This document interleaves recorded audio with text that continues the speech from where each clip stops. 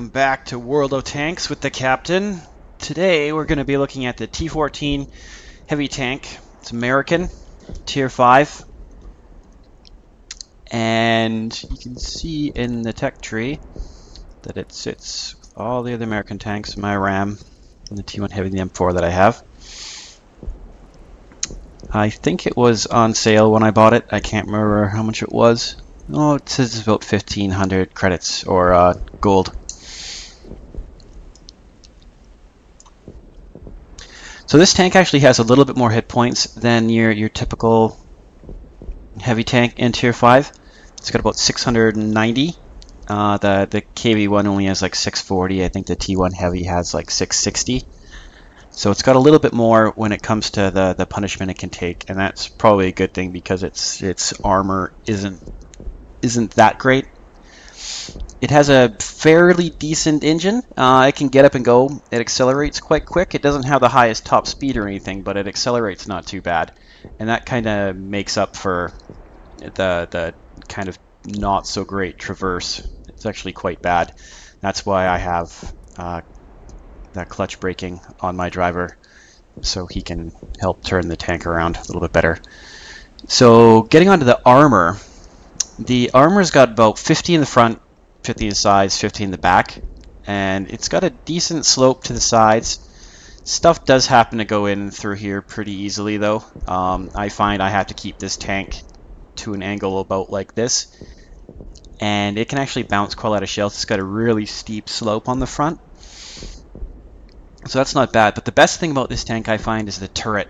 Um, it's got decent gun depression and elevation levels, so you can creep over the top of things and just expose this, and it'll be on a on an angle where stuff, almost everything will bounce off the front, and anything else will hit the turret. And I've had a few steel walls in this tank where it uh, it just sits there and it, it just ping, ping, ping, ping, ping.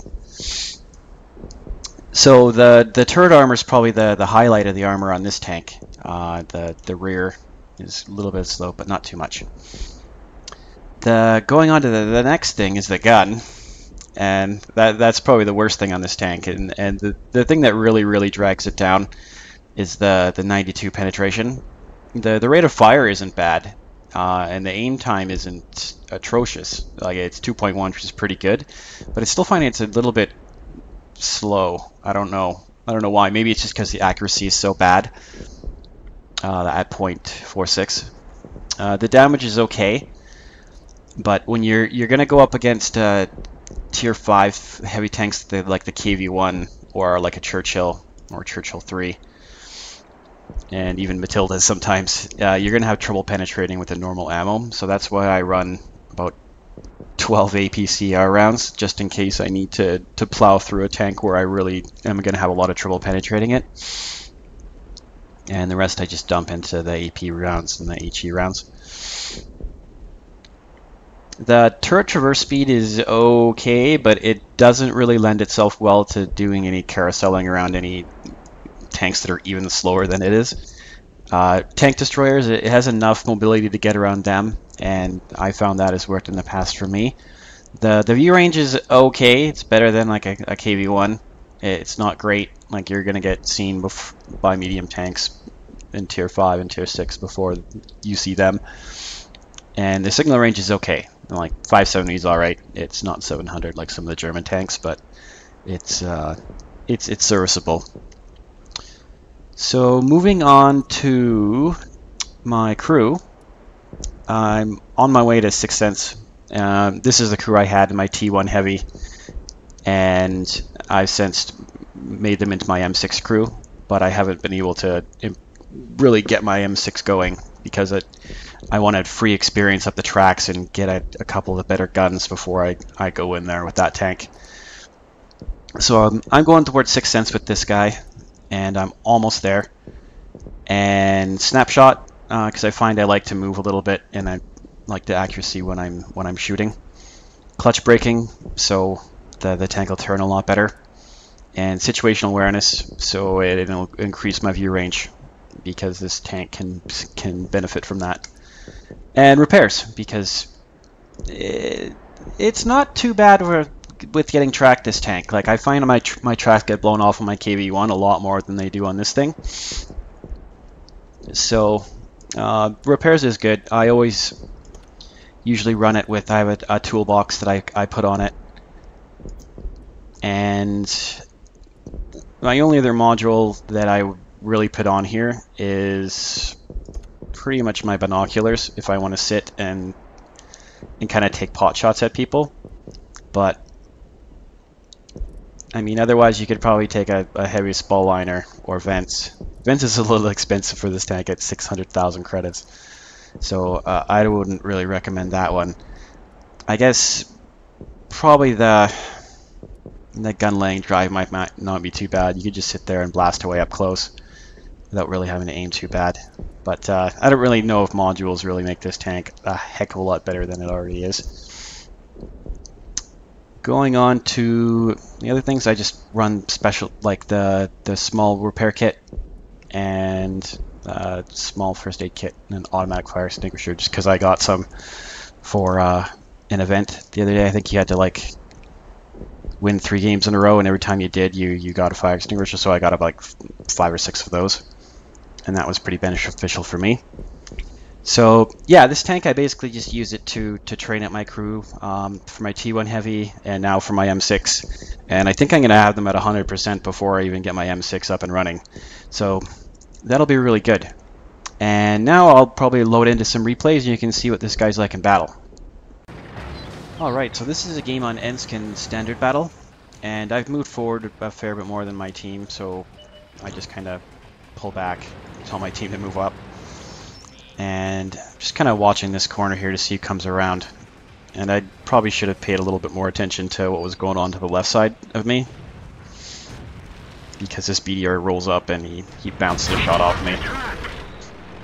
And yeah, he tracked me. We just dinged him.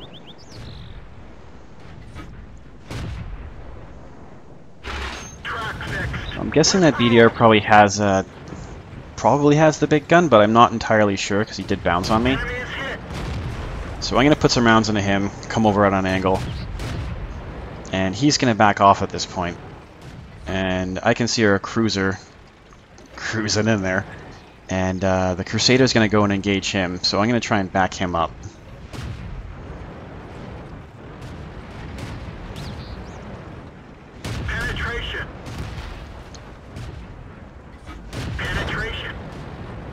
So I put a couple into him, and I pull back, bounced another shot there. So at this point I decided to push the pace a little bit and don't really give the Crusader any room. So I shoot in the move. And he's down to 38 health, and I can finish him off now. So now moving on to the BDR. I put a shot into him because he's not really paying attention. And he decides he's going to come over and try and take a piece of me. So I angle a little bit and shoot him as he comes around. And he misses, so I shoot him again, but it ricochets. Someone else puts a round into him. And he's done. At this point I can see it looks as engaging our, our M8A1. And I'm a little bit too slow to get over there in time to, to help. But I'm able to put a round through the window and take him out through there.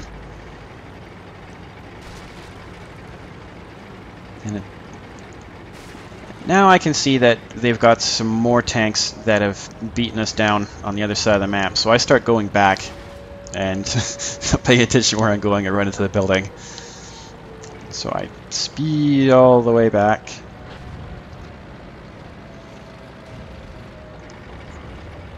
And I run into a Covenanter. Got a shot on the move there, which turned out pretty well. And I'm not angled very well here. Enemy armor is damaged. Penetration. But I should be able to penetrate this guy fairly easily. Ricochet. Track hit. Ricochet. Enemy armor is damaged. One more shot and he should be done. Yeah.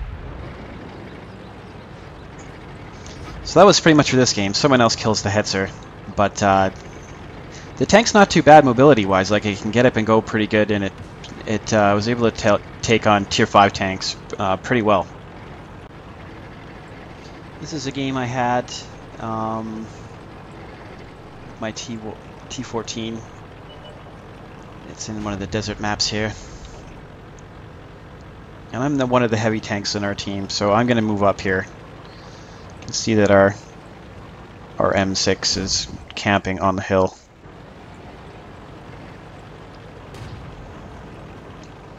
So I'm going to take a peek over and see what I can shoot at.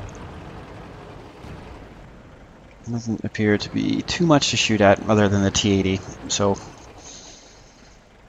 I can't get a shot at the Hellcat.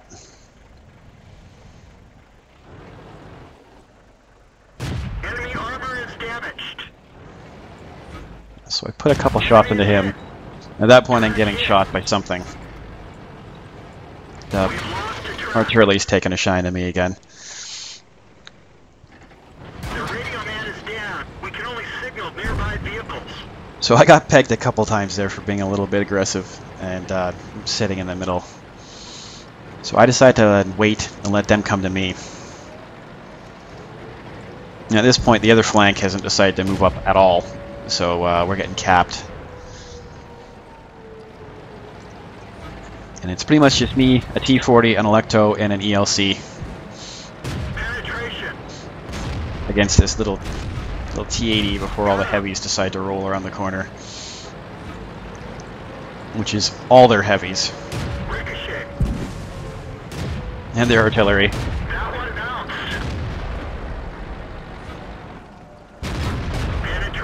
So I'm angling, trying to angle here.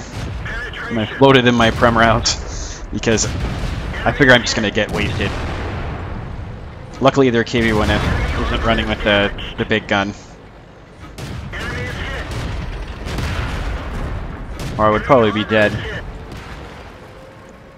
The radio man is bleeding. We can't rely on him. Yeah, that ELC really helped me. Penetration. Bounced off. Come around him and finish off another other KV-1. And my game comes to a premature end when the Hellcat finishes me off. This vehicle has had it. Damn you, Hellcat. This is a map, uh, Pro Prokhorovka encounter battle, and our Easy 8 is going nuts on the T2 medium that got brought into this game, so he thinks we're going to lose. So I spot a T50. Critical. His tracks take the shot though. And at this point, seems like a little bit more action going on on the other flank, so I turn my gun over there at the Easy 8 that's making a hero run. Penetration. Put a round into him, and then they finish him off.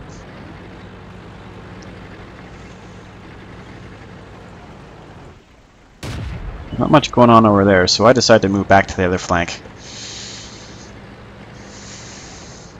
And I'm just going to speed this up, because it takes a little bit of time for the T-14 to get over anywhere.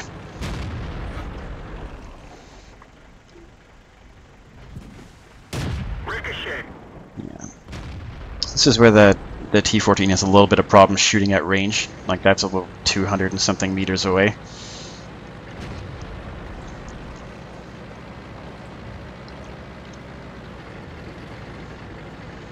So I know I'm going to be going up against KV-1, so I load in some Prem rounds because I'm going to need to to hold this flank by myself because the only other tank here is the, the T2 medium. Everyone else has died. So I'm just using the ridge here and my my decent turret armor, my gun depression, to try and find out where the KV-1 is. And he's gone up to poke me, Penetration. so I put a round into him.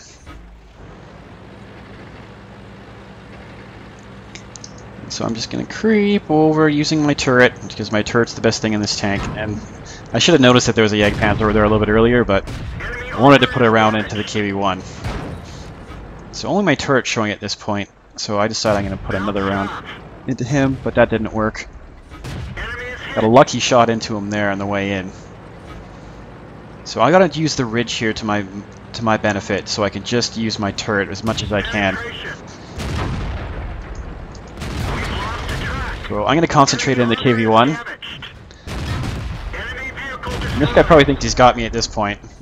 But I turn, put around into him, look like I'm to go backwards, but then I fake it, go forwards, he overcommits, and I'm around behind him now. Enemy armor is hit. So I put one to the side, and then a lucky tracking shot, and he's pretty much cooked now. Enemy is hit. Night night. Gotcha. And that was it. That was a pretty decent fight. That was a tier 5 heavy KV-1 tank and a Panzer IV. That this is an El Halluf encounter battle I had where it was pretty much just me me versus the other team because my team the next best guy only got did about 500 damage pretty much everyone else just went YOLO retard and died. And they started capping immediately too.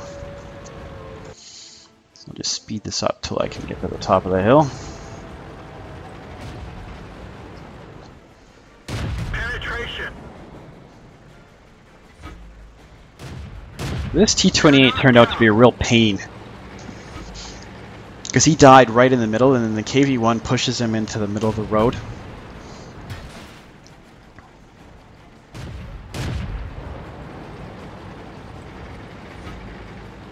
And I took a side shot from that M5 Stuart down there. So I don't want to get hit by him- him again.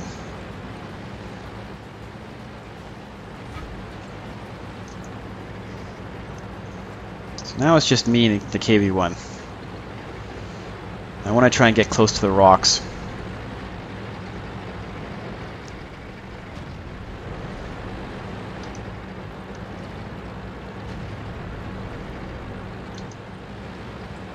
We're immobilized.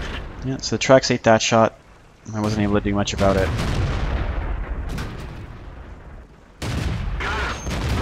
He thought he was going to get some sneaky shots in, and he did, but he died for it. Stug's using me as a meat shield here. he gets tracked. And he tracked me again. But he hasn't really done much damage to me.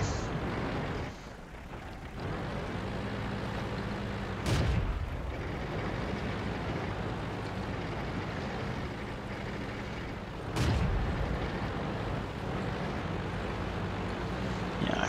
Doesn't seem to work to be baiting this guy. He doesn't want to come around the corner. So I realize I'm going to have to probably push up to try and get this guy. The T-28 is really in the way. It's hard to get around it to get any shots. I keep jamming into it. That was unlucky. Enemy is hit.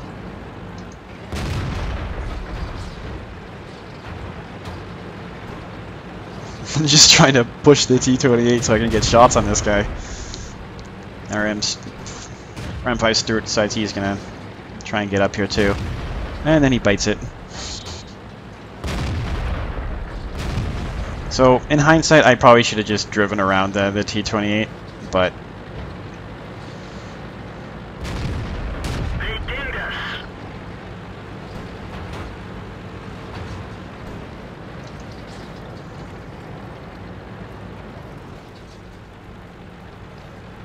We just dinged them.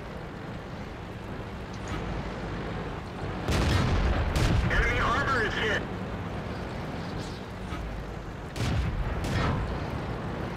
the Su-85 comes in, tries to take some shots. At this point, he can only really see my turret. You can see that two or three shots have banged off the front.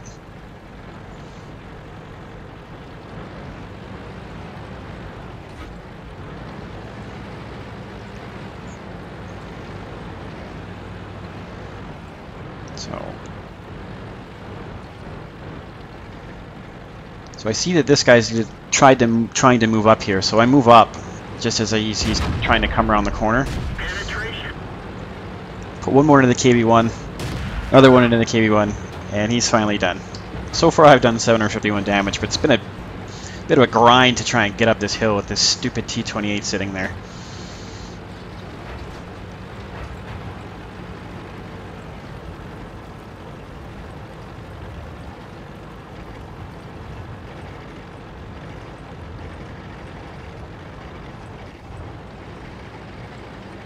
Come around the corner here. See a Stuart in the cap. And the Stug finishes him off. And our AT2 is sitting in down there, and at this point it didn't look too bad for our team.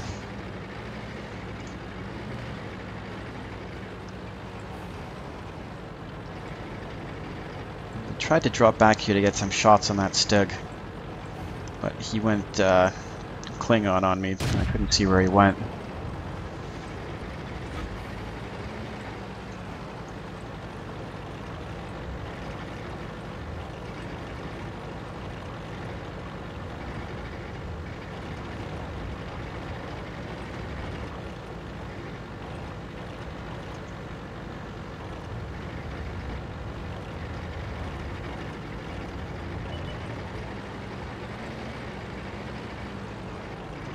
So I don't really even know where the enemy team decided to go here. That Stug decided to actually come down and try and get me. So I switched back to my normal AP RAM uh, ammo for this guy because I can penetrate him fairly easily.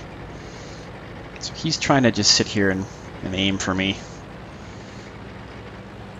But I still got a decent amount of health left. I could take a shot from him. So he's not paying attention, so I move forward and put a shot into his face. And I bounce another shot. Oh, no, I took a shot.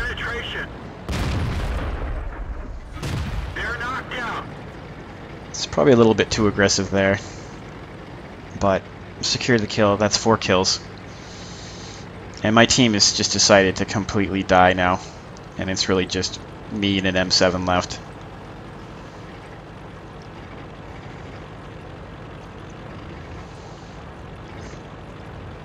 And the little M8A one is going to take apart our M7 in a second.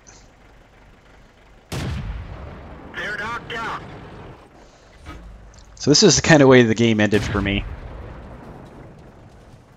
I was able to uh,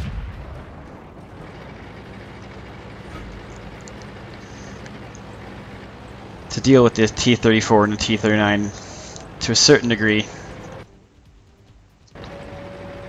So they were trying to cap it out. So I came over the top Enemy is hit.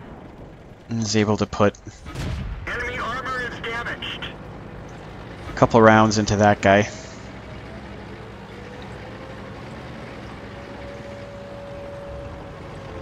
So I decided to change positions here.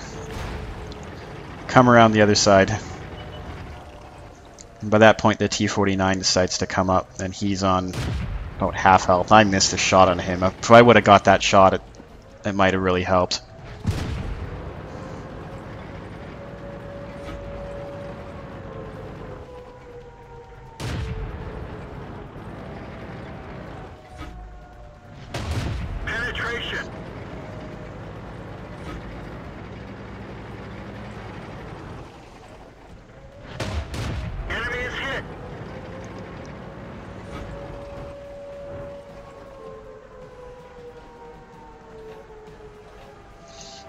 So at this point I probably should have gone at them from straight on down here, but I drove to the top of the hill, and and that was the end of me. I got, uh, I think the T-49 maybe loaded a prem round and he put it through the, the front of my tank or the through the turret, and that was it. But uh, in general, the, the the T-14 is a really really decent tank. Um, if you load in the prem rounds, it it can go up against tier 6 tanks and, and not do too terribly. It's got pretty decent armor. If you angle it well, it's not bad. The turret armor is great. The gun depression's great. It accelerates fairly well. It doesn't have very good side armor. And it's got a weedy gun when you run out of the, the APCR. And the accuracy on it sucks. You want to try and get up pretty damn close. But overall, uh, it's one of the, the stronger uh, premium tanks that you can get at tier 5 and it's not too expensive so I, I don't like it as much as my T1 heavy or maybe my KV1 because you can kind of boss people around in the KV1. But uh, I think in general the, the T14 is a, a pretty decent tank for not too much money. So yeah, if you enjoyed this video, uh, give it a like, and I'll see you soon.